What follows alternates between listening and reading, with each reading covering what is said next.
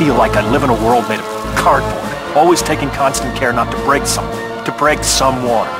Never allowing myself to lose control, even for a moment, or someone could die.